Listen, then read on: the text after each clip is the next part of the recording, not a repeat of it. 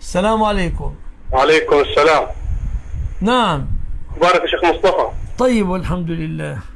كان عندي سؤال يا شيخ. اسأل يا أخي. أنا في واحد كان في الطريق بيسألني على حد بيبيع يعني معسل وحلفت له يمين إن أنا ما أعرفش إن حد بيبيع المعسل مكان بيبيع معسل. وأنت تعرف.